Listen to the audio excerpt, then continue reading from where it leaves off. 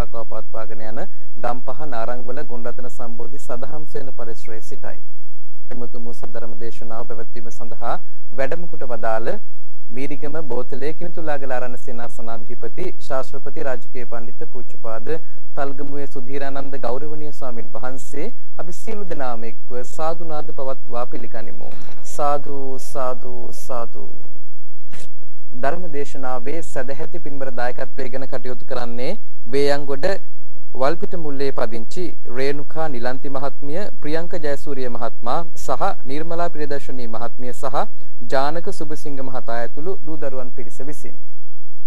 සමන්ත චක්කවාලේසු අත්‍රා ගච්ඡන්තු දේවතා සද්ධම්මං මුනි රාජස්ස සුනන්තු සග්ග මොක්ඛදං ධම්මස්සවන කාලෝ අයං භදන්තා ධම්මස්සවන කාලෝ අයං භදන්තා ධම්මස්සවන කාලෝ අයං භදන්තා නමෝ තස්ස භගවතු අරහතෝ සම්මා සම්බුද්දස්ස. නමෝ තස්ස භගවතු අරහතෝ සම්මා සම්බුද්දස්ස. නමෝ තස්ස භගවතු අරහතෝ සම්මා සම්බුද්දස්ස. උපාදෝවා භික්කවේ තථාගතානං අනුපාදෝවා තථාගතානං. අට්ඨිතාවසා ධාතු ධම්මට්ඨිතතා ධම්මනියාමතා සබ්බේ සංඛාරා අනිච්චා සබ්බේ සංඛාරා දුක්ඛා සබ්බේ ධම්මා අනාත්තා තං තථාගතෝ අபிසම්බුජ්ජති අபிසමේතේ අபிසම්බුජ්ජිත්වා අபிසමෙත්වා විවරති විභජති පඤ්ඤපේති පට්ඨපේති උත්තානේ කරෝති තී. පින්තුනි තුම් බලාපොරොත්තු රැසක් සහිතව බොහෝ කාලයකට පෙර ඉඳලා හිතේ තියාගෙන හිටපු උතුම් බලාපොරොත්තුවක් පුණ්‍යමය බලාපොරොත්තුවක් මල්පල ගැන්වෙන අවස්ථාව. ජීවිතවල මේ වෙනස්කම් ඇති කරවන්නේ ධර්මය. ධර්මය තුළින් ජීවිතයක ඇතිවෙන වෙනස් වීම ජීව කාලකට බලපානවා. සාමාන්‍ය කෙනෙකුට වෙනස් කරන්න බැරි තරමට සාමාන්‍ය කෙනෙකු හරහා වෙනස් වීමට වඩා පමණ කොළ නොහැකි වෙනසක් සිද්ධ වෙන්නේ ධර්මය තුලින් ජීවිතය වෙනස් කරගත්තොත්. එම නිසා පින්වතුනි දැන් ඒ ධර්මයෙන් ජීවිතය වෙනස් කර ගැනීමට වෙනස් වෙලා තියෙන මට්ටම තවත් වෙනස් කර ගැනීමට ගුණයහපත්කම් වලින් ධර්මෝපදේශයක් දීමටයි සූදානම ධර්මෝපදේශයක් ගැනීමටයි සූදානම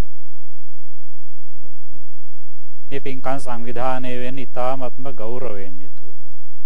පින්වතුනි මේ තරම් මේ ගෞරවයෙන් යුතුව වැඩ කටයුතු වුණවුන් කෙරෙහි කෙරෙන වෙනත් ආගමක් නැහැ. භික්ෂු භික්ෂුණී උපාසක උපාසිකා කියන මේ සිව් පිරිස තරම් ඔවුනොවුන්ට ගෞරවයෙන් ಗುಣධර්ම ගැන හිතලා ගෞරවයෙන් ජීවත් වෙන වෙන කිසිම ආගමික කණ්ඩායමක් මේ ලෝකයේ ඇත්තෙම නැහැ පින්වතුනි. ඒක බුදුරජාන් වහන්සේ අනුමත කරලාම තියෙනවා. යස්සස බ්‍රහ්මචාරීසු ගාරවෝ නූපලබ්බති යනාදී වශයෙන්. ඒ කියන්නේ පැවිදි ස්වාමින් වහන්සේලා එකට වාසය කරන ස්වාමින් වහන්සේලාගේ සීලාදී ගුණ එල්ල කරලා ගරු කිරීමක් නැත්තම් ගිහි පින්වතුන් උපාසක උපාසිකාවන් විදිහට අනේකාගේ ගුණ එල්ල කරලා ගරු කිරීමක් නැත්තම් පිරිහෙනවා කියලා. වෙන මොකකින්වත් නෙවෙයි ಗುಣධර්ම වලින් පිරිහෙනවා. ඒ නිසා ಗುಣධර්ම වලින් නැගිටිනකොට බුදුරජාණන් වහන්සේත් එක්ක නැගිට්ටා වෙනවා. ಗುಣධර්මත් එක්ක නැගිටිනකොට ධර්මයත් එක්ක නැගිට්ටා වෙනවා. ධර්මයත් එක්ක නැගිටිනකොට අනුන්ගේ ඇදපළු දුනෙහි හොදිසි කරන්න පුරුදු වෙන්නේ. ඒ ඇදපළුදු ගැන මධ්‍යස්ත වෙනවා. අනුන්ගේ තියෙන කුඩා නමුත් ගුණය සිහි කරලා ඌට ගරු කරන්න පෙළඹෙනවා. ගරු කරනවා කියන්නේ වඳිනවම කියන එක නෙමෙයි. වඳින එකත් ගරු කිරීමක් තමයි. හැබැයි දැන් අපි කියමුකෝ ගිහි පින්වතුන්ගේ යම් ගුණයක් අපි දැකලා ඒකට ගෞරවයක් ඇති වෙනවා කියලා. ඉතින් ඒකත් ගරුත්වයක්. එතකොට එහෙම සලකලා ගත්තට පස්සේ මේ තරම් මේ ගෞරවයෙන් ඔවුනොවුන් පිළි කෙරෙහි පිළිපදින්නට පින්වත්තුනි ක්‍රමය ලැබුණේ බුදුරජාණන් වහන්සේ නිසා. ගුණධර්ම වලට ගරු කිරීමේ ක්‍රමය. ගුණධර්ම එල්ල කරලා ඒ ගෞරවය පුද්ගලයාට යනවා. ඒ තුලින් ගරු කරන කෙනා තුල ඊට වඩා උතුම් ගුණ දියුණු වෙලා යනවා. එම නිසා ඒ දැන් බලන්න මෙතෙන්ට එනකොට මේ තරුණ දූල පුතාලා පවා මෙතෙන්ට එනකොට වෙනසක් තියෙනවා. මේ වැඩිහිටියෝ කියලා දෙන්න ඇති. අද මෙහෙම ගමනක් යන්නේ ඒ නිසාද මෙහෙම යා යුතුයි කියලා. ඒ කාටද ඒ ගරුත්වය පළ කරන්නේ? බුදුරජාණන් වහන්සේට. බුදුරජාණන් වහන්සේට ගෞරවය පුද කරන්න සූදානම් වෙන කෙනා තුල තරම් ಗುಣධර්ම දියුණුවක් වෙන්නේ නැහැ තුන් ලෝකේ වෙන කෙනෙක් කිසිම කෙනෙකුගේ පිටපත. එම නිසා ජීවිතයක් ගුණ යහපත් වෙනකොට අනේකාගේ ගුණයට ගරු කරන්න අනේකාගේ අගුණය නොසලකා හරින්න අනේකාගේ අගුණයට නොකිපී ඉන්න අනේකාගේ අගුණය තුලින් අනේකා පහත් කොට නොසලකන එලෙස සකස් විය යුතුයි. එම නිසා මේ දැන් අද තේරුම් කරලා දෙන්න බලාපොරොත්තුනේ පින්වතුනි පැහැදිලි පිරිසිදු ධර්මඥානයක් තිබුණු පමණට මේ කියවෙච්ච කරුණු තමාගේ ජීවිතය තුළින් දකින්න පුළුවන්. මොකද ධර්මඥානයක් තියෙන්නට ඕනේ. මුළු ත්‍රිපිටකයම නොදැනගත්තත්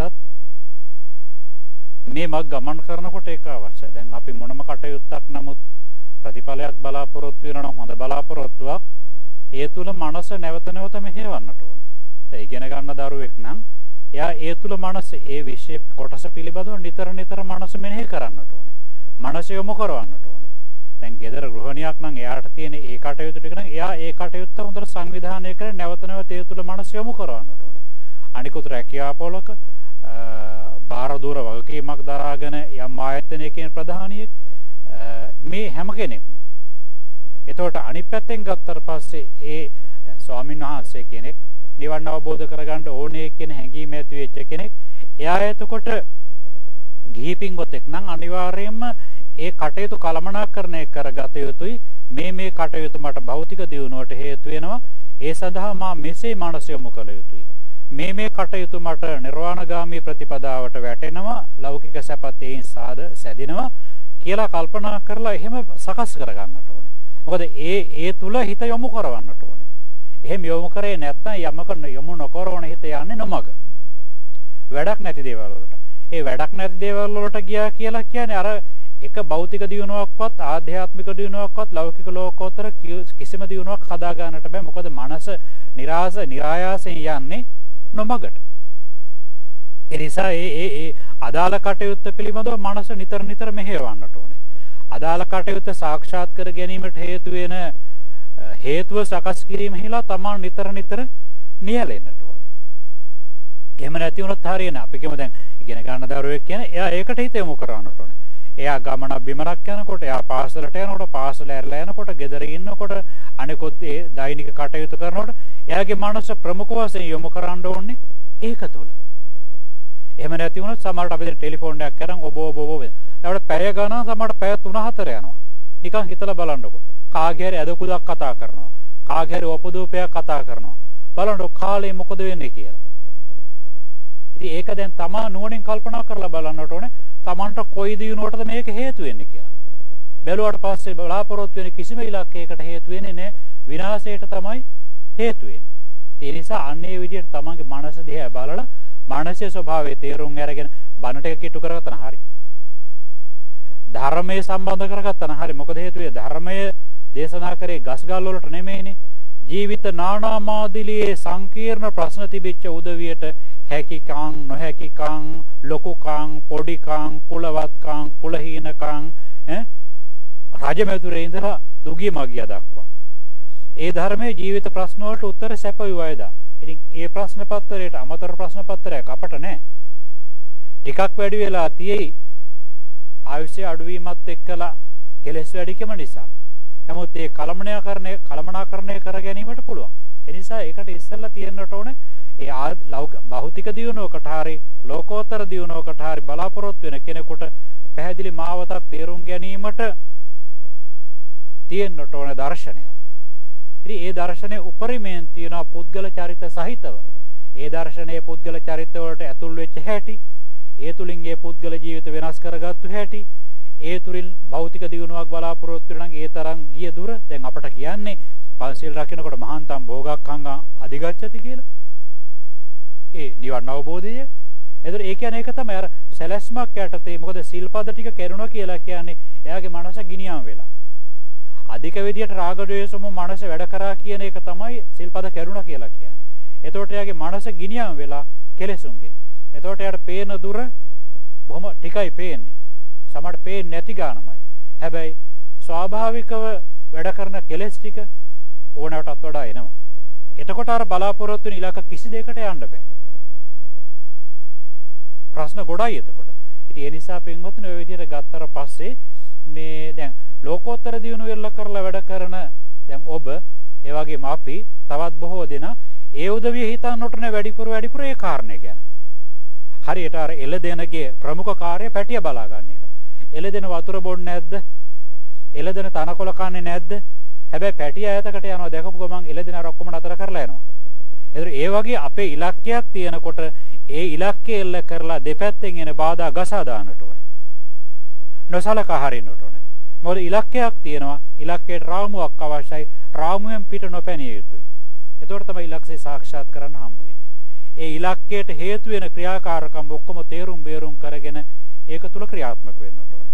ඒක භෞතික දියුණුවටත් එච්චරයි, ආධ්‍යාත්මික දියුණුවටත් එච්චරයි. ලෞකික දියුණුවටත් එහෙම තමයි, ලෝකෝත්තර දියුණුවටත් එහෙම තමයි. හරි? ඔකට අමුතුවෙන් ભેද ඔකට ඕක වාද නැහැ.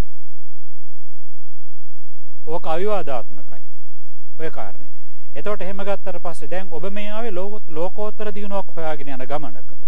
ඔබ මේ ආවේ භෞතික දියුණුවක් බලාපොරොත්තු යන ගමනක් නෙවෙයි. ඔබ මේ ආවේ ආධ්‍යාත්මික දියුණුවට යමක් එකතු කර ගැනීමට. එහෙමනම් ඒ රාමුව පිරිසිදු කර ගැනීම සඳහා පැහැදිලි ධර්මඥානයක් අවශ්‍යයි. මොකද හේතුව අපට ලෝකයට කියන්න පුළුවන් ප්‍රශ්නක් තියෙනවා. කිසිම කෙනෙකුට කියන්න බැරි මානසික ප්‍රශ්නක් තියෙනවා. කිසි කෙනෙකුට කියන්නට බෑ ඒවා. කිව්වට පස්සේ ඒගොල්ලෝ මොනවා හිතයිද? ඒගොල්ලෝ දෙන උත්තරේ අපට හරියයිද? ඊට පස්සේ ඒක පලිහක් අරගෙන අනිත් පැත්තට ගහයිද? මෙන්න මෙහෙමයි මෙහෙම කරාට භාවනා කරන්න ගියාට කියලා. ඒ නිසා අපට ඉතින් ඔය ඔක්කොම ප්‍රශ්න වලට ඇතුළත පිටත අන්තෝ ජටා බහි ජටා එක පුද්ගලයෙක් බුදුරජාණන් වහන්සේ ගිහිල්ලා කීවේ ඇතුළෙන් බැලුවත් ප්‍රශ්න පිටින් බැලුවත් ප්‍රශ්න කොහොමද මේක ලියාගන්නේ කියලා සියලු ප්‍රශ්නාවලිය කෙනෙකුට එන ඉදිරිපත් කළා. ඉතින් බුදුරජාණන් වහන්සේ එතන දේශනා කළේ ඉස්සල්ලා මොකද කිව්වේ? සීලේ පතිට්ඨාය. මොකද සීලෙන් නිවිච්ච මනසට තමයි යමක් කමක් පුළුල්ල නිවි හැනහිල්ලේ හිතීමේ හැකියාවක් එන්නේ. හැබැයි තනිකර සීලෙන් ගත්තොත් බුදුදහමෙන් තොර සීලය ඒකේ ඉලක්කයේ එච්චර උතුම් එකක් නොවන නිසා ඒ සීලයට එච්චර පේනවා අඩුවේ. මොකද බුදුදහමේ ඉලක්කය රාගදේශම දුරු කිරීම එල්ල කරලා ගත්තට පස්සේ ඊට එහාගේ උතුම් ඉලක්කයක් ඊට එහා ගිය මනස දියුණුවට අඩු පිළි ක්‍රියාදාමයක් අය නැහැ. ඉතින් මේ ඔක්කොම කර ගැනීමට ධර්මඥානයක් අවශ්‍ය කරනවා. ඒ ටික ඇති කරගත්තාට පස්සේ ලෞකික ජීවිතේ වුණත් භෞතික දියුණුවටත් හරි ලස්සනට කළමනාකරණය කරගෙන ඇදගෙන වැටෙන්නේ නැතුව වැටෙන්න යනවා නම් පේන විදිහට ඉස්සරහට යන්න පුළුවන්. ඒකට අවශ්‍යයි ධර්මඥානයක් මේ ලෞතර ධර්මයේ. බුද්ධ ධර්මයේ කියලා කියන්නේ විශ්ව නීතිය. ඒක බුදුරජාණන්සේ පහළ වුණත් පහළ නොවුණත් මේ බුදුදහමේ කියවෙන හොඳ නරක හොදේ නා හොදේ හොඳ විපාක නරකේ නරක විපාක යනාදී වශයෙන් සතර අපාය ආදී දෙව්ලොව මානලොව බඹලොව ඉන්හා නිවන. ඒ ඒ තැන් වලට හේතු වෙන වැඩපිළිවෙළවල්. මේක විශ්ව නීතිය මේ කියලා දීලා තියෙනවා. මේ වැඩපිළිවෙලත් පවතිනවා. ජීවිත වලටයි ගත යුත්තේ. වැඩපිළිවෙල ඉලක්කෙත් ලැබෙනවා. ජීවිතයටයි ලැබෙන්නේ. වැඩපිළිවෙල වලින් පල්හැට යන දුක් විඳින ඒකත් ධර්මතාව. ඒක තමයි උපාදෝවා භික්කවේ තථාගතානං අනුපාදෝවා තථාගතානං ඨිතාවසා ධාතු ධම්මට්ඨිතතා ධම්මනියමතා. බුද්ධ වචනයෙන්ම ගත්තට පස්සේ මුළු ත්‍රිපිටකයම නිර්වචනය කළා. බුදුවරු පහළ වුණත් ලෝකයට බුදුවරු පහළ නොවුණත් ඨිතාවසා ධාතු ධම්මට්ඨිතතා ධම්මනියමතා. පැවතීගෙන රටාවක් තියෙනවා. ලෞකිකත්වයේ පවතින රටාවක් තියෙනවා. ලෝකෝත්තර තත්ත්වෙත් පවත්නා රටාවක් තියෙනවා. පවත්නා රටාව කියන්නේ ගහේ ගලේ පවත්නා රටාවක් ඇත්තයි විග්‍රහ කළා. සංස්කාර කියනකොට. හැබැයි බුදුවරයෙකුගේ අවධානයට යොමු වෙන්නේ ගහට ගලට දුක දැනෙන්නේ නැහනේ. ගහට ගලට දුක නැති කිරීමේ වැඩපිළිවෙලක් අනුගමනය කරන්න බෑනේ. ගහේ ගාලේ රාග ద్వේෂ මෝහ නැහනේ. ගහට ගලට ඒ නිසා නිවන් සාක්ෂාත් වෙනවා කියලා දෙයක් වෙන්නේ නැහැ. එතකොට නිවන් සාක්ෂාත් වෙන්නේ මේ කියපු සත්‍ය සතර අදාළ වෙන්නේ සත්වයා කියන කෙනාට. පුද්ගලයාටයි මේ ටික අදාළ වෙන්නේ. අන්න ඒක තමයි ලෝක ධර්මතාව විශ්ව නීතිය චතුරාර්ය සත්‍යයට කුළු ගන්නලා දේශනා කළේ. එතකොට එහෙම ගත්තාට පස්සේ අපි හිතන්නේ කොයි පැත්තද ඔක්කොම බණ පොතේ තියෙනවා. අපි හිතුවොත් අපට කියන හරිය මේ අලුත් ඒවා පරණ බුදුදහමට අහුවෙන්නේ නැහැ කියලා පොඩ්ඩක් පහුරු ගාලා බලන්නකො දහම යහුවෙලා නැද්ද කියලා. හොයලා බලන්නකො. ඕනෑවටත් වඩා තියෙනවා. ඉතින් එහෙම ගත්තට පස්සේ ඔන්න මොකද්ද කීවේ? සබ්බේ සංඛාරා අනිච්චා, සබ්බේ සංඛාරා දුක්ඛා, සබ්බේ ධම්මා අනාත්තා. ඔය කියේ චතුරාර්ය සත්‍ය පිළිබඳව. සබ්බේ සංඛාරා අනිච්චා කියලා කිව්වේ සතර අපායේ, මනුලෝව, දේව්ලෝව, බඹලෝව. සබ්බේ සංඛාරා අනිච්ච අනිත්‍යයි. හැබැයි නිවන හැර. සබ්බේ සංඛාරා දුක්ඛ. දේව්ලෝව, මනුලෝව, බඹලෝව, සතර අපායේ දුක් තියෙනවා. ඒ දුක් සමහර විපරිණාම දුක්. ඒ කියන්නේ අපි සැප කියලා අදහස් කරන දේවල්. අපි සැප කියලා අදහස් කරන දේවල් වලට බුදුරජාණන් වහන්සේ දේශනා කළේ දුක් කියලා. හැබැයි එහෙම කියලා මේ ඔක්කොම දාලා දුවන්න ලැස්ති වෙන්නට එපා. ඒක පොඩ්ඩක් කල්පනාවෙන් පොඩ්ඩක් හොදිසි කරන්න. ඔබට පේන ප්‍රමාණයෙන් දුක හඳුනා ගන්න. ඔබට පේන ප්‍රමාණයෙන් දුක හඳුනා ගන්න. මම නිතරම කියන්නේ දැන් Taman ඉන්න ජීවිත භූමිකාව තියෙනවනේ ගිහියෙකු වශයෙන්. ඒ එතන ඉඳලා බලන්නකො අහුවෙන දුක් ටික පොඩ්ඩක් කල්පනා කරලා පිස්සු වැඩ කරන්නේ නැතුව. එතකොට Tamanට ඒ ඉන්න තැන ප්‍රශ්න ටිකත් එක්කලා ඉන්න තියෙන ඉන්න තැන කායික මානසික දුක් ටික තේරුම් ගන්නකොට තව ටිකක් හොයන්නට හිත යොමු කර යොමු වෙයි. ඒතර ඒ නිසා ඒ කියන අපි දුක් කියලා හංගිනේවත් අපි සැප කියලා හංගිනේවත් නිවන ගැන දැම්ම කල්පනා නොකර ඉන්නකො. ඇයි දන්නවද? නිවන සාක්ෂාත් කිරීමට වැඩපිළිවෙලනේ රහස. නිවන අවබෝධ කර ගැනීමට වැඩපිළිවෙල තිබුණා නම් නිවන් ප්‍රාර්ථනා කළත් නොකළත් හිතුවත් නොකළත් ඒක වෙනවා. ඒ රාග ද්වේෂම දුරු කිරීම නිවන. එතකොට රාග ද්වේෂම දුරු කිරීමේ පුහුණුවේ අපි නියැලෙනවා නම් සීල සමාධි ප්‍රඥා තුල ඒ ශිෂ්ට සම්පන්න ප්‍රතිපදාව තුල එනම් අපිට සුදුසු කාලයේදී ඒක වෙනවා. ඒ රාග ද්වේෂම දුර්වල කිරීම කර කර යනවා කියන්නේ දුර්වල කරපු දේ කවදා හරි නැති කරන්න පුළුවන්. එහෙම නැතුව මෙතන රාග ద్వේෂම ඔක්කොමත් එක්කලා අර පැත්ත හිතුවාට පස්සේ දෙලොවක් අතර අතරමං වෙයි. මොකද ඒ සැපේ ගැනත් කල්පනා වෙනවා. හෝඩුවාවක් ඉන්නේ ප්‍රතිපත්තිය නැති නිසා එතන දෙපැත්තක අතරමං වෙයි. ඒ නිසා හොඳම වැඩේ තමයි ඉන්න තැන ඉඳලා මේ වැඩ ටික අනුගමනය කරනවා. නිවනට කරන්න දෙයක් නැහැනේ. කරන්න තියෙන මාර්ග සත්‍යයි. ක්‍රියාකාරී වෙන්න තියෙන සීල සමාධි ප්‍රඥා තුලින්. ක්‍රියාකාරී වෙන්න තියෙන සමත විපස්සනා භාවනා තුලින්. ක්‍රියාකාරී වෙන්න ඕනේ දාන සීල භාවනා පිළිවෙත් තුලින් රාග දේශම දුරු වෙනවද කියලා මනස හොදිසි කරන එකටයි. ඉතින් ගිහි පින්වතාට රාග දේශම වැඩෙන වැඩ එමටයි. හැබැයි රාග දේශම වැඩෙන වැඩ එමටයි කියවට උපරිමයෙන් වැඩෙන අවස්ථා ටික තමයි පස්පව් දස කුසල. එහෙනම් ඒක වැළැක්විය යුතුයි කියන එක ගැන කතාවක් අමුතු වෙන්නේ නැහැනේ. ඒක හලයුත්තක් කියන එක මේ සියලු දෙනාම පිළිගන්නවා. ඈ? හලයුතුයි කියන එක පස්පව් දස කුසල. ඒතර පස්පව් දස කුසල තමයි නිර්වාණ අවබෝධයට බරපතල බාධා ටික. ඇයි? නිර්වාණ අවබෝධයේ රාගදේශ මොක්ෂය කිරීම පස්පව් දස කුසල රාගදේශ බරපතල බරපතල මානසික වැඩෙන ක්‍රියාකාරකම් පද්ධතිය. ප්‍රතිඵලයයි ඉලක්කයයි ප්‍රතිපත්තියයි ප්‍රතිපත්තියෙන් පිටපැනීමයි අතර කැපී පේනවා මෙහෙම එකක් තියෙනවා කියලා. එතකොට ඒ නිසා බලන්න එහෙම සබ්බේ ධම්මා අනාත්තා. එතකොට අනිත්‍ය ධර්මයේ දුක් අනිත්‍ය දුක්ඛ ධර්මතා දෙක අනාත්මයි. අනාත්මයි කියන්නේ සත්වයක පුද්ගලයෙක් වශයෙන් ගන්නට බෑ. හැබැයි අනිත්‍ය දුක්ඛ අනාත්ම ධර්මතා දෙකට අමතරව අනාත්ම දෙයක්ත් තියෙනවා. ඒ නිවන. ඒ කියන්නේ නිවන අනිත්‍ය නෙමෙයි, නිවන දුක්ඛ නෙමෙයි, හැබැයි නිවනත් අනාත්මයි. තේරුම් ගන්න. එතකොට මෙන්න මේක තමයි සබ්බේ සංඛාරානිච්චා සබ්බේ සංඛාරා දුක්ඛා තං තථාගතෝ අபிසම්බුද්ධති. අන්න ඒක තමයි බුදුරජාණන් වහන්සේ ලෝකෙට පහළ වෙලා අபிසම්බුද්ධති. මේක වටහා ගන්නවා. අபிසමේති භාවනා කරලා නිකන් ආවට ගියට වැටෙන්නේ නැහැ මේක. දිගු කාලීන පුහුණුවක්. ඒකට කියන්නේ පාරමී පුරනවා කියලා. අபிසම්බුද්ධිත්ව අபிසමෙත්ව. එහෙම අවබෝධ කරගෙන මේ අපි කියන ධර්මයේ විවරති මේ විවෘත කරලා දෙන බුදුරජාණන් වහන්සේලා. ඒකනේ අර බණ පොතේ සඳහන් වෙන්නේ පුබ්බේ අනනුසුතේසු ධම්මේසු චක්කුම් උදපාදී කියලා. පෙර නොතිබූ ධර්මතා පිළිබඳව නෙමෙයි. පෙර නොඇසූ ධර්මතා.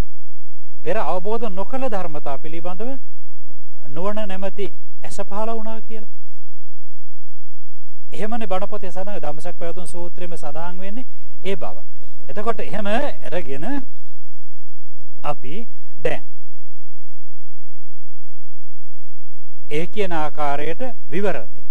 විවෘත කරනවා. මේ විවෘත කරන්නේ ලෝක ධර්මතාව තමයි. මේ අනිත්‍ය දුක්ඛ අනාත්ම කියන ධර්මතාව තමයි පටිච්චසමුප්පාද ක්‍රමයෙන් විස්තර කරා චතුරාර්ය සත්‍ය ක්‍රමයට විස්තර කරත් තවත් තවත් තවත් බුදුදවණේ සඳහන් වෙන සියලුම මාතෘකා යටතේ විස්තර කරත් ඔය අනිත්‍ය දුක්ඛ අනාත්ම ගැන තමයි කියන්නේ. ඔය චතුරාර්ය සත්‍ය ගැන තමයි කියන්නේ. ඒක අර බුදුරජාණන් වහන්සේ විභජති කියනවනේ. විභජති කියන්නේ එකම කරුණ එකම විශ්ව නීතිය අවබෝධ කර ගැනීමට සත්වයාට පුළුවන් මට්ටම් සහ අවබෝධ කිරීමට මනස යොමු කරන తත්වයේ වෙනස්කම් තියෙන නිසා හෙවත් ඒ පුද්ගලයා ඒක තේරුම් ගන්න ආකාරය සංඥා තුලින් අන්න ඒකේ එල්ල කරලා භාගතුන් වහන්සේ විභජති. ඒ අවබෝධ කරගත්තු චතුරාර්ය සත්‍ය ධර්මය බෙද බෙද බෙද බෙද බෙද බෙද දේශනා කරනවා. ධර්මය නම් චතුරාර්ය සත්‍ය කියලා වෙලාවක කියනවා. තව වෙලාවක නම් ධර්මය නම් පටිච්චසමුප්පාදය කියනවා. තව වෙලාවක කියනවා ත්‍රිලක්ෂණය කියනවා. ඉතින් ඔය එක තමයි විභජති කියලා කියන්නේ. පඤ්ඤපේති. පඤ්ඤපේති කියලා කියන්නේ භාෂාවෙන් දේශනා කරනවා. භාෂාවෙන් භාෂාව අපට අවශ්‍යයිනේ භාෂාව අසරණයි බුදුවරගේ අවබෝධය හමුවේ. භාෂාවෙන් නියම අවබෝධය දෙන්න බෑ. දැන් අපට තියෙන අමාරුවක් බලන්න කියන්න පුළුවන්ද කියලා. හා දැන් අපට නෑ. දැන් මෙතන ආතරයිටිස් රෝගයේ තියෙන කෙනෙක් කියනවා නම් ඉන්නේ. කෙනෙකුට කියන්න පුළුවන් තමන්ගේ වේදනාවේ තත්ත්වය මොකද්ද කියලා. කියා ගන්න බෑ. මම ඒක නෝන කෙනකින් ඇහුවා ඉතින් අමාරුව කොහොමද කියලා. එහෙම කියන්න බෑ සංස හරියට අර තවත් අත්දැකීමක් අනුව කියනවා. අර බල්ලෙක් බල්ලෙක් හැපුවට පස්සේ ඇති වෙන වේදනාව. ඉතින් බල්ලෙක් හපපු නැති කෙනෙක් කොහොමද බල්ල හපපු වේදනාව දැනගන්නේ? අර බලන්නකො දැන් තමන්ට තමන් ඒ තමන්ගේ කායිකව ලබන ඒ වගේ දෙයක්වත් භාෂාවෙන් එළියට දෙන්න බැරි කොට අපි කොහොමද මේ නිරෝධ සත්‍ය නිවන පිළිබඳව රාග දේශ මොක්ෂ ක්ෂය කිරීම පිළිබඳ අවබෝධයක් එළියට දෙන්නේ. ඇතුළාන්තේ පංච උපාදානස්කන්ධයේ තේරුම් ගැනීම පිළිබඳව කොහොමද තව කෙනෙකුට භාෂාවෙන් 100%ක් තේරුම් කරවන්නේ? රාග දේශ මොහේ මදිවට බරපතලව තියෙන කෙනාට කොහොමද මේක තේරුම් කරවන්නේ? ඈ ඉතින් ඒ නිසා පඤ්ඤපේති නමුත් මේ දහමේ ප්‍රාථමික අවස්ථාව භාෂාවෙන් හැර වෙන අංග අංග චලනයෙන් කියලා දුන්නොත් එච්චරවත් තේරෙන්නේ නැහැ. ක්‍රමයක් ඇත්තෙත් නැහැ. පට්ටපේති ඒ සත්වයින් මේක අවබෝධ කර ගැනීමට ඒ භාෂාවෙන් දෙන පමණට යොමු කරවෙනවා. උත්තානේ කරෝති මේ යටිකුරු වෙලා තියෙන ධර්මය ඔය කියවෙච්ච ධර්මය මතු කරනවා. එහෙනම් ඔය ටික මැතිනේ දැන්. ඉතින් දැන් ඔය ඔය ඔය ධර්මයේ තමයි අර බුදුරජාණන් වහන්සේ ඊ타මත්ම ගැඹුරින්ම ගත්තොත් එහෙම පුළුල්ලම ගත්තොත් එහෙම අර මේ හේතුඵල ධර්මතාව කියලා කියන්නේ. හේතුඵල ධර්මතාව කියලා කියන්නේ බුදුදහම. එතකොට එහෙම ගත්තට පස්සේ අපි හේතුඵල ධර්මතාව බුදුරජාණන් වහන්සේ ක්‍රම තුනකට දේශනා කළා. එකක් තමයි චතුරාර්ය සත්‍ය ක්‍රමය. දුක්ඛ සත්‍ය ඵලය, සමුදය සත්‍ය හේතුව. මාර්ග සත්‍ය හේතුව, නිරෝධ සත්‍ය ඵලය, නෑ නිරෝධ සත්‍යයට ඵලය කියලා කියන්නේ. හරි? අන්න හේතුඵල ධර්මතාව චතුරාර්ය සත්‍ය විදිහට දේශනා කළා. ඊළඟට නිරෝධ ඊළඟට නිරෝධ සත්‍ය හේතුවක් වෙනවා හැබැයි මාර්ග සත්‍ය වඩන්න. නිරෝධ සත්‍ය ඵලයක් විදිහට ගන්න නැහැ. ඵලයක් විදිහට ගත්තොත් මේක අනිවාර්යෙන් අනිත්‍යතාවට යටයි. එනිසා එක ගන්න නැහැ. ඊළඟට දැන් අපි ගත්තොත් එහෙම දැන් පටිච්චසමුප්පාදය ගත්තොත් එහෙම අන්න හේතුඵල ධර්මතාව අ, පංච පාදානස්කන්ධයෙහි ප්‍රධාන අවයව ටික කොටස් ටික අරගෙන හේතුඵල ධර්ම විස්ත- හේතුඵල ධර්මතාව විස්තර කරපු ආකාරය. අවිද්‍යාවෙන් සංස්කාරය වෙනවා කියලා අතීත හේතු දෙකක් සම්බන්ධ කරලා අතීත භව එකකින් අතීත සියලු භව නියෝජනය වෙනවා. වර්තමානයේ විඥාණයෙන් නාම රූප නාම රූපෙන් සලආයතන සලආයතනෙන් පස්සේ පස්සෙන් වේදනාව වේදනාවෙන් තණ්හාව තණ්හාවෙන් උපාදාන උපාදානෙන් භවය වර්තමාන ඵල හේතුඵල වශයෙන් ඊතර කොටස් 10ක්. අ, කොටස් 8ක්. කොටස් 8ක්. ඊළඟ ජාති ජරා ව්‍යාධි මරණ කියනකොට තන දෙකක්. ওই විදිහට තමයි පටිච්චසමුප්පාද අංග 12 අතීත අනාගත භව දෙකක් අරගෙන වර්තමාන භවයට අතීත අනාගත භවයේ තියෙන සම්බන්ධතාව අතීත භවයෙන් හේතු වශයෙන් වර්තමාන ඵලයට සම්බන්ධතාව වර්තමාන හේතුවෙන් අනාගත ඵලයට තියෙන සම්බන්ධතාව. ඒ විදිහට අනාදිමත් සංසාරයේ එක සත්වයකු එල්ල කරලා එක සත්වයකු මඟින් සියලු සතුන්ගේ මේ ක්‍රියාකාරීත්වය විස්තර කරපු එක. ඒ හේතුඵල ධර්මතාව මධ්‍යම වශයෙන් විස්තර කරපු ආකාරය. ඊළඟට අපට දීර්ඝ වශයෙන් විස්තර කරපු ක්‍රමය තමයි එන්නේ හේතුපච්චය ආරම්මනපච්චය අධිපතිපච්චය අනන්තරපච්චය සමනන්තරපච්චය අනාදී වශයෙන් අ, ප්‍රත්‍ය 24 ක්‍රමේ ප ဋ ාණ ප්‍රකරණයෙහි සඳහන් වෙන අභිධර්ම පිටකයේ අවසාන ග්‍රන්ථයෙහි. එතකොට දැන් අපි මේ තේරුම් ගන්නකොට එතකොට අපි දැන් ඒ ක්‍රමයට එනකොට වා තේරුම් ගැනීමට අභිධර්ම ක්‍රමයට තේරුම් ගන්නවා නම් ඒක තමයි ඊටාම වටින්නේ. මොකද ඒ ධර්මඥාණයට කාටවත් යව හරවන්න බෑ හෙට මෙහෙට. අභිධර්ම පිළිබඳව ධර්මඥානයක් දැන් පැවිදි උතුමන් වහන්සේලාට නම් කියන්නේ ඉස්සරලාම විනය පිටකේ හදාරන්න කියලා. ගිහි පින්වතුන්ට එහෙම එකක් කියලා නෑනේ. ගිහි පින්වතුන්ට දසා කුසලයෙන් වැළකුණා නම් එයාට කවදාකවත් අපාය යන්නේ නෑ. ගිහි පින්වතා දසා කුසලයෙන් වැළකුණා නම් එයා අපාය යන්නේ නෑ. හැබැයි ගිහි පින්වතා දසා කුසලයේ යෙදෙනවනේ. ඒ නිසා අපාය යනවා. ගිහි පින්වතා සෝවාන් නොවුනත් දසා කුසලයෙන් වැළකීලා නම් කර්මපත බවට පත් වෙන්නේ සාමාන්‍ය හිතේ පහළ රාග ආදී සිතවිල්ල කර්මපත වෙන්නේ නැහැ. අපායක ප්‍රතිසන්දි ලැබීමට තරම් සමර්ථ නැහැ. ප්‍රබල නැහැ. ඉතින් එහෙම ගත්තාට පස්සේ දැන් පැවිදි උතුමන් වහන්සේලාට එහෙම නැහැනේ. අර ගංගේ යනකොට අර මේ අර මේ පංකොලයක් කරනවා කියලා අපාගාමිනී ඒරකපත්ත නාගරාජ්‍ය බවට පත් උනේ. පැවිදි උතුමන් වහන්සේලාගේ සීලේ බරපතලයිනේ. ගිහි පින්වතුන්ට දසා කුසලයෙන් වැළකුණා නම් එතනින් පස්සේ මේ මගේ යන්න පුළුවන්. ඒ නිසා ගිහි පින්වතා ඒ ටිකෙන් වැළකීලා හොඳම දේ තමයි අභිධර්මයේ ටිකක් හදාරනවා නම් හරි හොඳයි. මොකද එතකොට ඔය එක එක තරවකාරයින්ට ගිහි පින්වතාව හරවන්නට බෑ. තමන්ගේ පැත්තට නම්ම ගන්නට බෑ අයථාකාරයෙන්. කුලප්පු කරවන්නට බෑ. නැත්තම් අපි ගොඩක් වෙලාවට අන්න හරි රහත් වෙලා ඉනවා මෙන්න මෙහෙ බුදු වෙලා ඉන්නවා කියලා කියනකොට අපි ඕන දවස් දෙකකින් මාර්ගඵල දෙනවා ඔන්න මෙහෙම දෙනවා අරවා දෙනවා මේවා දෙනවා අලි දෙනවා කොටි දෙනවා කිව්වට පස්සේ අපි ගොඩක් වෙවුලනවානේ. ඉතින් ඒ නිසා එහෙම වෙවුලන්නේ නැහැ. මොකද හේතුව එයා දන්නවා එයාගේ තරම. එයා තරම දැනගෙන එයා ධර්මයේ දන්න නිසා එයා දන්නවා භාවනා උපදෙස් දන්නවා. එයා දන්නවා එයාගේ කෙලෙස් වල පමණ දන්නවා. එයා දන්නවා කවුරු ළඟට ගියත් මට උපදෙස් ගත්තත් මගේ හිතේ ස්වභාවය මේමයි. ඒ නිසා මට උපදෙස් වල අඩුකමක් නෙමෙයි තියෙන්නේ මේ ධර්මය අනුසාරයෙන්. මම දන්නවා මගේ හිත රාග ආදී කෙලෙසුන් කොයි රාමුවෙන් ආවත් කොයි ලෝගුව දාගෙන ආවත් මගේ හිතේ එන කෙලෙස් මට හඳුනා ගන්න පුළුවන්. මට යෝනිසෝ මනසිකාරය පාවිච්චි කරනකොට මට හොඳට හඳුනාගත්ත හැකි. මම දන්නවා සමාහිතෝ භික්කවේ යථාභූතම් පාජන. හිත තැම්පත් වුණොත් තමයි අනිත්‍ය දුක්ඛ අනාත්ම පේන්නේ. විදර්ශනා භාවනාවක් වෙන්නේ. ඒතර මට තියෙන මේ උපදේශ වල අඩුකමවත් රහතුන් වහන්සේ නමක පිටිපස්සේ ගියා කියලා මය කෙලෙස් වලට රහතුන් වෙලා හිටියත් නැතත් මව ගලවන්නට බෑ. ඒ නිසා එයා දැනගෙන එයා දන්න උපදේශ ටික. එහෙනම් එයා බලන්නේ එයාට විවේකී පරිසරයක් නිසා තමා දන්න උපදේශ ටික අනුගමනය කරන්න එක එක්කෙනා පිටිපස්සේ ගියාට මට වැඩක් නැහැ කියලා දන්නවා. මොකද ධර්මයේ තමා ළඟ තියෙනකොට පුද්ගලෙ වෙච්චර වැදගත් නැහැ. බුදුරජාණන් වහන්සේ පවා දේශනා කළේ ඒකනේ.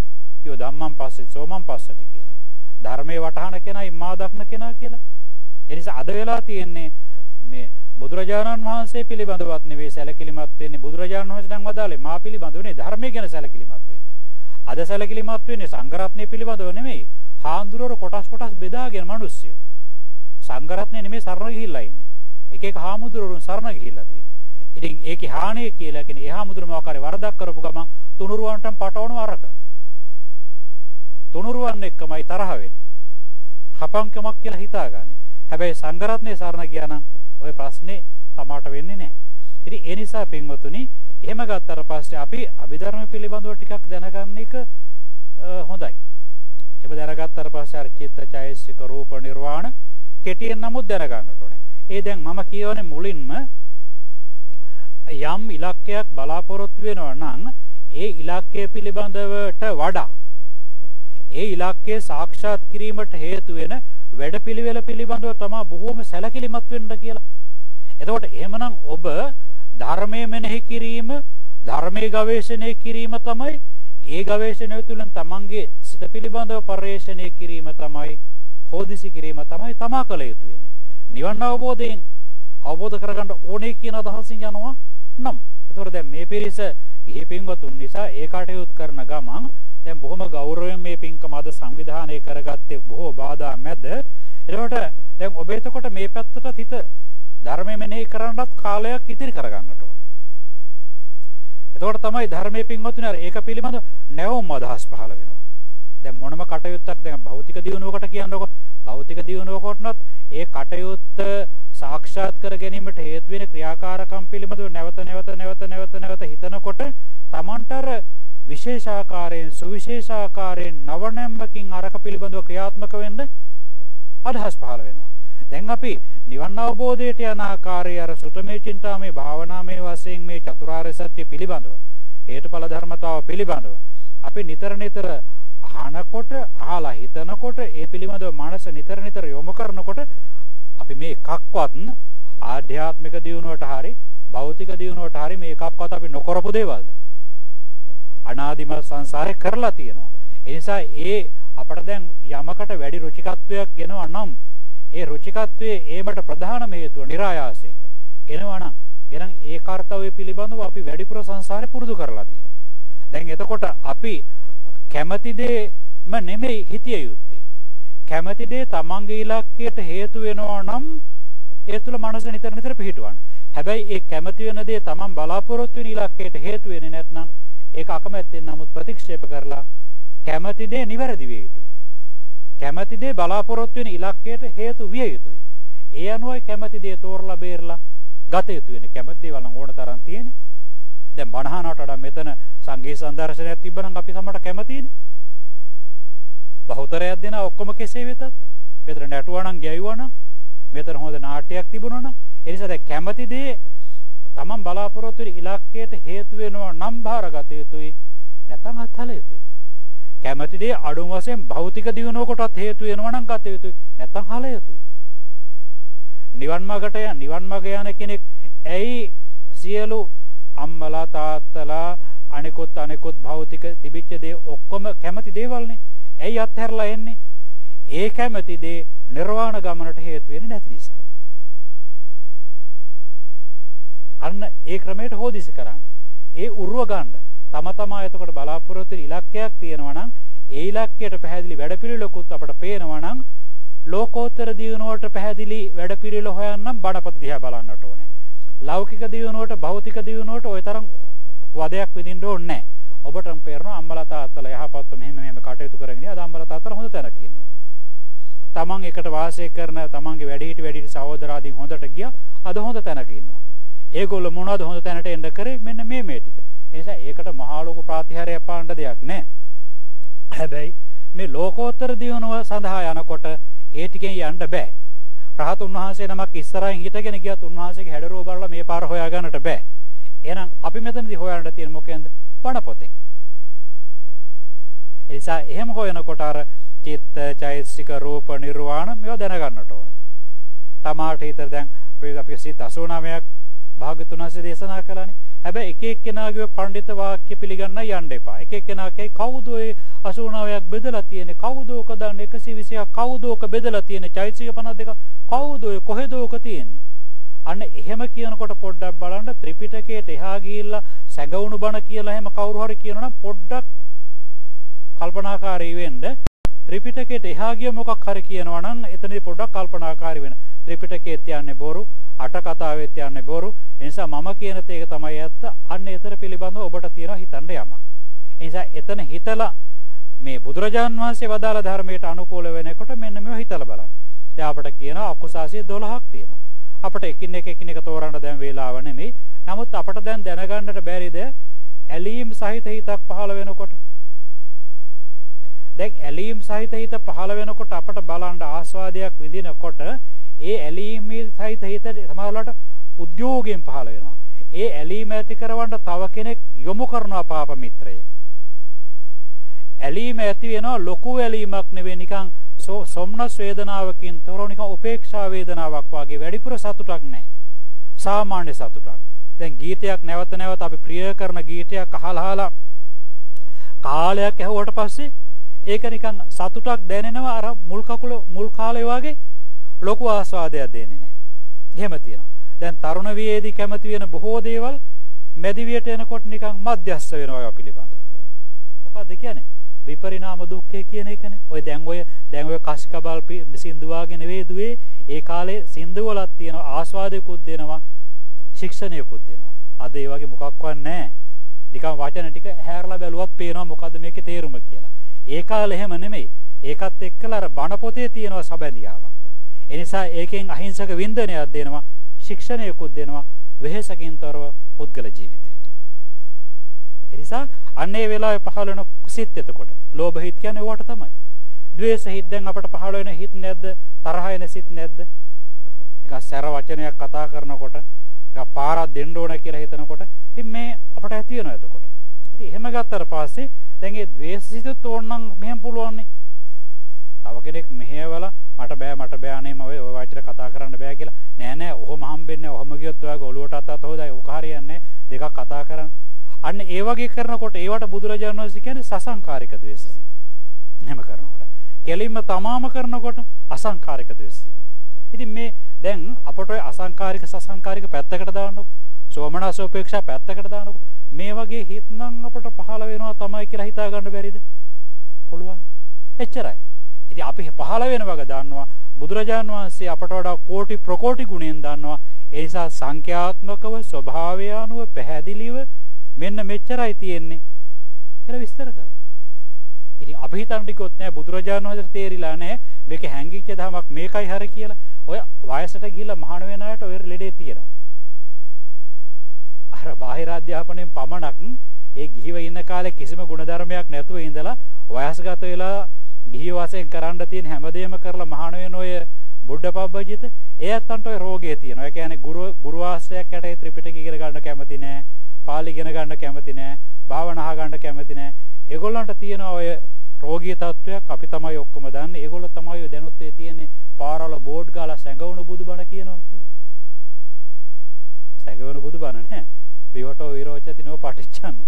විවෘත වුණාට පස්සේ බබලනවා. වැහුණාට පස්සේ බබලන්නේ නිසා එදා එදා බැබලි බැබලි යා මේගොල්ලෝ බබළුවයි මෙච්චර දුරක් ආවේ නැත්තම්. සැඟවෙච්චව හාරලා ගනි මේගොල්ලෝ. අන්න දැන් ඊළඟට අපි ගන්නකො දැන් අපේ හිත දැන් යම් වෙලාවකදී නිකන් අර රාගයකුත් නැහැ ద్వේෂයකුත් නැහැ හිත විසිරලා යන අවස්ථා නැද්ද? ඒක අරමුණක පවතින්නේ දැන් අපි භාවනා කරන්න ගියා කියලා කියනකො. දැන් භාවනා කරන්න ගියාට පස්සේ තද බල රාග ద్వේෂ ආදියක් එන්නේ නමුත් මනස නිසා ඒක අරමුණක පවතින්නේ නැති විසිරී යන ගතිය. දැන් පාඩම් කරන්න ලොකු උනන්දුවකින් යනවා මේසිකාවට ගියාට පස්සේ බලනකොට ඔරලෝසුවේ පෑයක් දෙකක් ගිහලා මොකක්වත් කරලා නැහැ. මොන ආරමුණට ගියාද කියලාවත් දන්නේ නැහැ. විසිරි විසිරි එකින් එකට එකින් එකට එකින් එකට ගිහිල්ලා. ඉතින් ඔහොම මානසිකත්වයක් නැද්ද?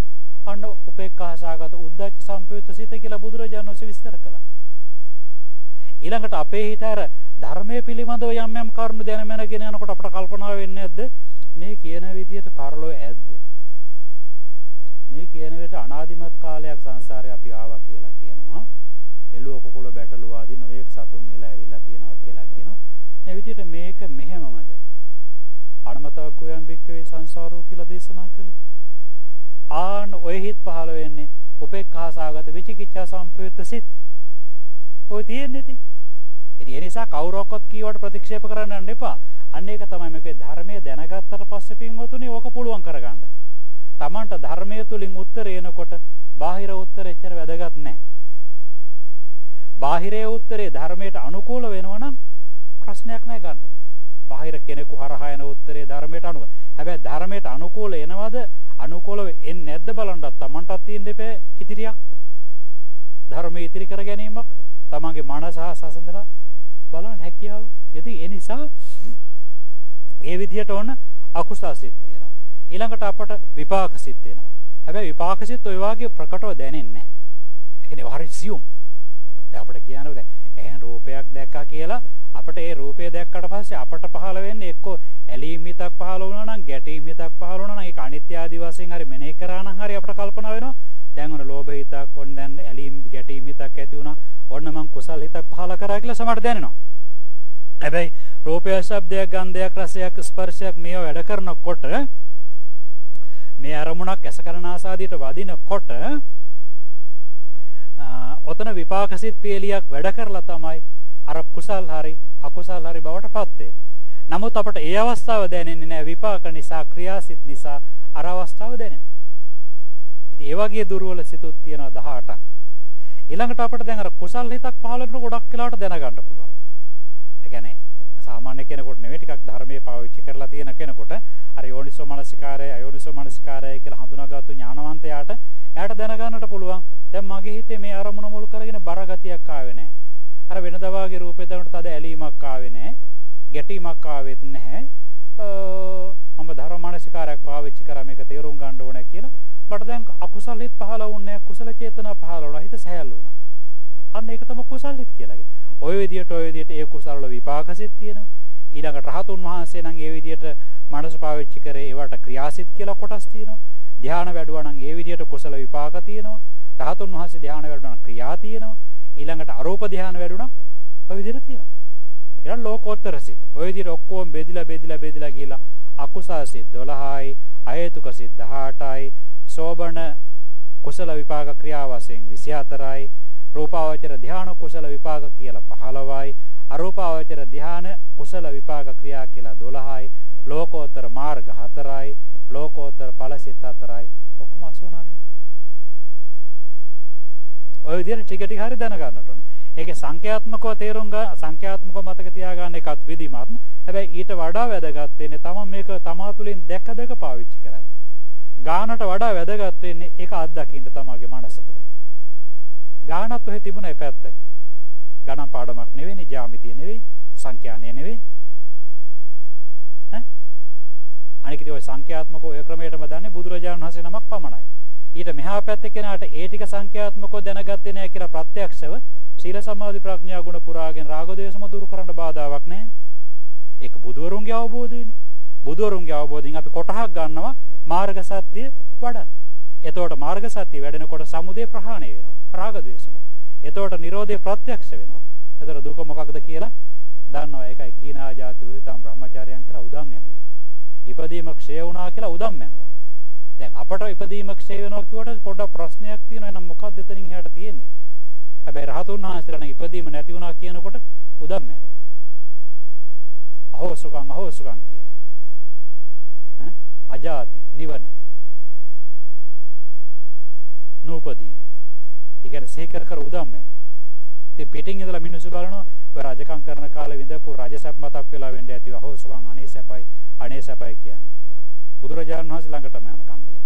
පස්සේ බුදුරජාණන් වහන්සේ කිව්වා ඒ ඇත්ත ඕවා හිතලා නෙවෙයි මේ නිවන් සැපේ තියෙන උතුම්කමයි වේ උදම් යන්නේ කියලා. ඉතින් ওই විදිහට ඊළඟට වැඩ කරන චෛතසික තියෙනවා මේක මේ මම කොහොමත්ම මේ දේශනාවකින් සර්ව සම්පූර්ණ කරන්න ගත්තා නෙමෙයි. මේ කෙටියෙන් ගත්තේ ඊළඟට චෛතසික තියෙනවා. දැන් අපට රාග ආදී කෙලෙස් චෛතසික තියෙනවා. 14ක්. ඊළඟට සෑම වැඩ කරන සාරෝචිත සාධාරණ හතක් කියලා තියෙනවා ස්පර්ශ ආදී. ඊළඟට හිතවට ගැළපෙන ගැළපෙන විදිහට බෙදිලා හැදිලා යන චෛතසික හයක් තියෙනවා ප්‍රකීර්ණක කියලා. ඊළඟට සෝබන කියලා කුසල් විපාක ඒ ආදී විශේෂ කුසල් වලට අදාළ වෙන චෛතසික ශ්‍රද්ධාදී අපි හඳුන්වන්නේ. ඊළඟට විරති තියෙනවා සම්මා වාචා ආදී. ඊළඟට සියල්ලට මුලින් ඉන්න ප්‍රඥාව තියෙනවා. ඔක්කොම 52ක්. තව දේශනාවකදී බලාපොරොත්තු වෙමු. මේ දේශනාවෙන් ඔක්කොම සම්පූර්ණ කරන්න බෑ. ප්‍රවේශයේ දීලා ඉන්න එපාය. කරුණාකාරණා කොච්චරගෙන හැර දැක්කුවත් ප්‍රවේශය හරි නැත්නම් කරුණාකාරණා ජීවිතයට එකතු කරගන්න ආකාරය පිළිබඳව ප්‍රශ්නයක් තියෙනවනේ. ඒ නිසා ප්‍රවේශය තමයි වැදගත් වෙන්නේ. ප්‍රවේශය දුන්නාට පස්සේ මුළු ධර්මයේම හෝඩුවාවක්. එතකොට හොයන්නාට හොයන්න පුළුවන් නම් හොයන්නට හම්බ වෙනවා. ඔක්කොම ප්‍රශ්න වලට උත්තර තියෙනවා. මේ බණ පොතේ. හොයාගෙන ගියොත් හම්බ වෙනවා.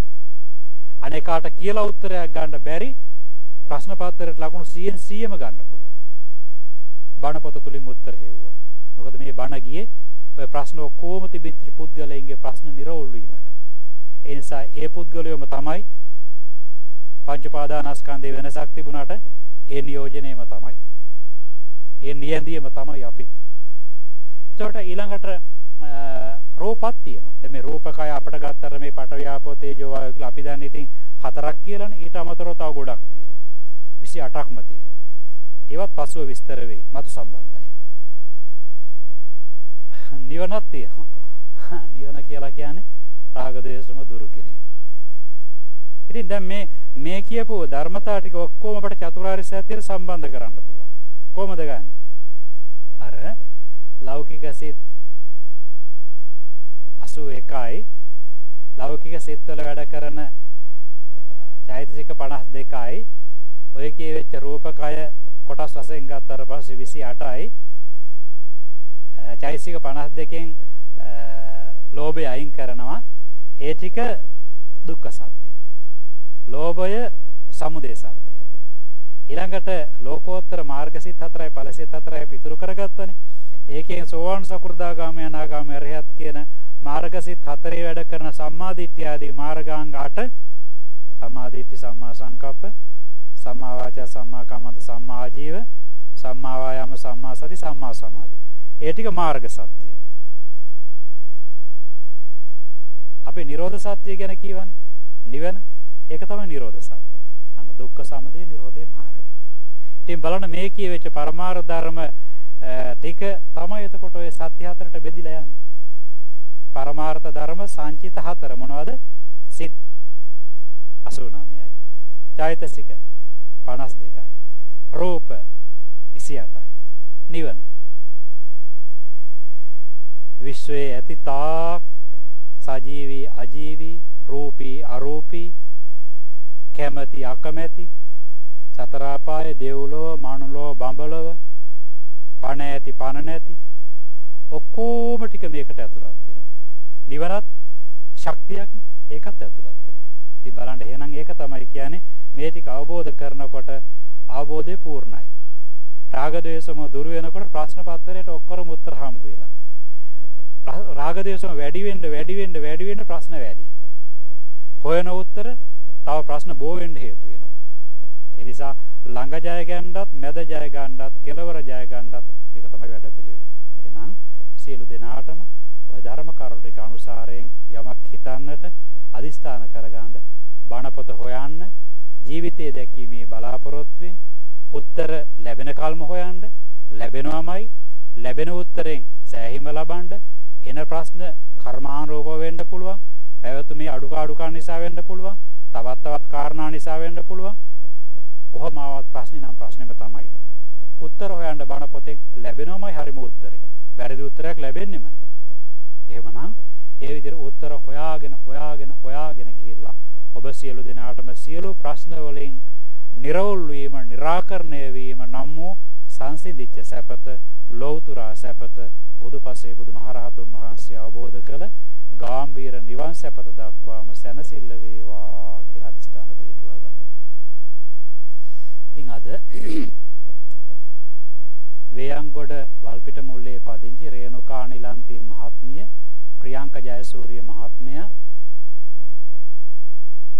නිර්මලා ප්‍රියදර්ශනී මහත්මිය සහ ජනක සුබසිංහ මහත්මයා ඇතුළු කොට දූදරු පිරිස තමයි පින්කමේ කොටස්කරුවෝ.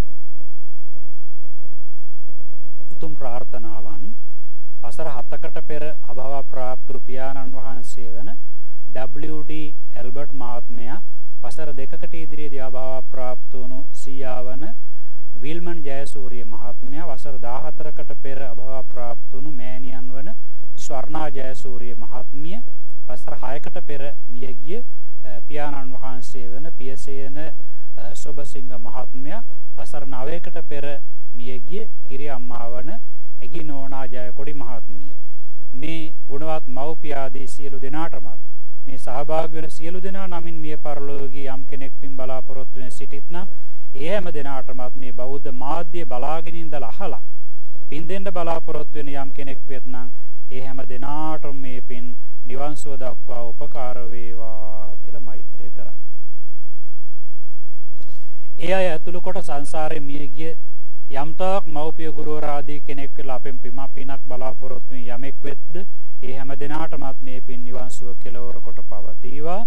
සුජීවත්ව වාසය කරන ගුණවත් මව්පිය දෙපළට නිරෝගී සුව දීර්ඝායුෂ තුනුරුවන්ගේ අනන්ත ගුණ බෙලෙන් උදාපත් වේවා කියලා පුත වේදීත්වයෙන් මෙත් වඩනවා. ජයසූරිය පවුලේ සහ සුබසිංහ පවුලේ විසිවන විවාහ සංවත්සරයට ආශිර්වාද කරනවා. ඒක මේ ජන සමාජයට හොඳ පූර්වාදර්ශයක් නටලා ගයලා වයලා තියෙන දේ කාබාසිනියක් අරගෙන ඒවා සමරන වකවානුවක ආශිර්වාද ලැබෙන පින්කමක්ම කරගත්තා.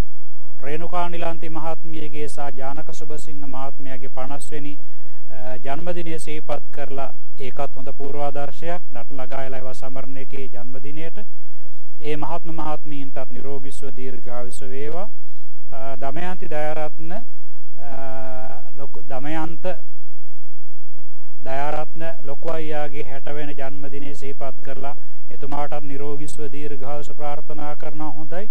මේ වසරේදී අපොස උසස් පෙළ විභාගයට පෙනී සිටින වජිර සංක අමන්ත සචින්ත නිරෝධී තාරක යසිත් සිසර යන දූපුතුන්ට නිරෝගීසුව දීර්ඝායුෂ වේවා.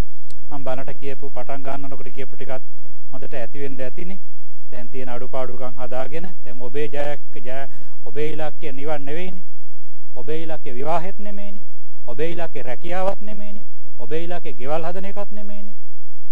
එනිසා ඔබේ ඉලක්කයට හේතු වෙන කුමක්ද කියන එක ඔබම දන්නවා. ඒ ටිකටම හිත යොමු කරන්න.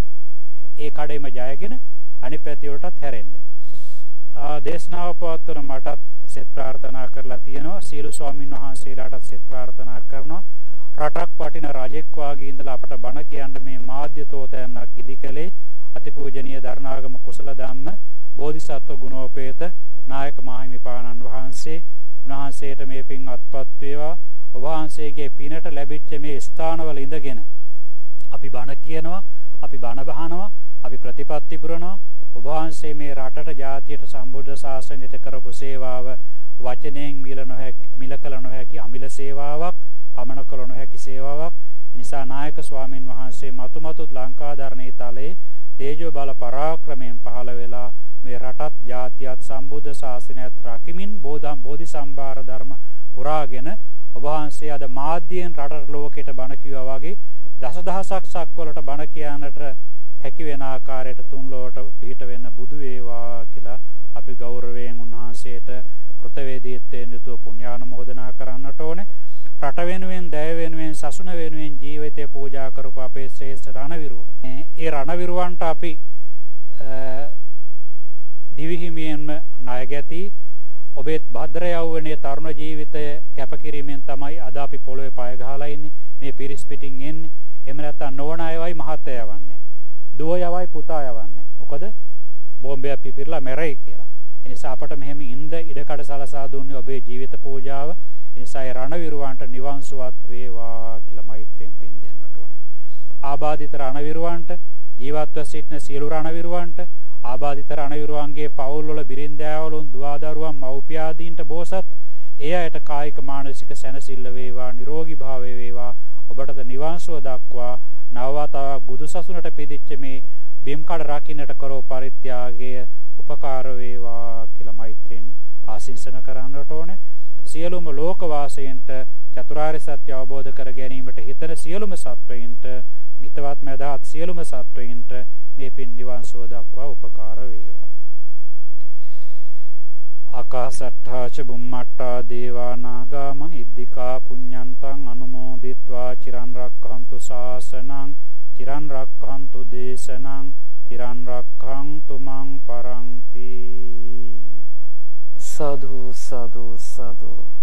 එවතුම් සදර්ම දේශනා පවත්වා වදාළ මීරිකම බෝතලේ කිනිතුලා ගලාරන්න සේනාසනාධිපති ශාස්ත්‍රපති රාජකීය පඬිතු පූජ්‍යපාද තල්ගමුවේ සුධීරානන්ද ගෞරවනීය ස්වාමීන් වහන්සේට තවත් චිරාත් කාලයක් මෙවැනි වූ ශාසනික කටයුතු වල නිරත වීමට අවශ්‍ය ශක්තිය ධෛර්යය නිදුක් නිරෝගී චිරජීවනයේම ලැබේවා. සාදු සාදු සාදු ධර්මදේශනාවේ දායකත්වයෙන් දරූ පින්වත් පිරිසට ගෞරවනීය ස්වාමීන් වහන්සේට පරිස්කාර පූජා කරන්නට ආරාධනා කරමින් අපි උතුම් වූ මහා සංඝරත්නය මෙලෙසින් වන්දනා කරමු. साधु साधु साधु।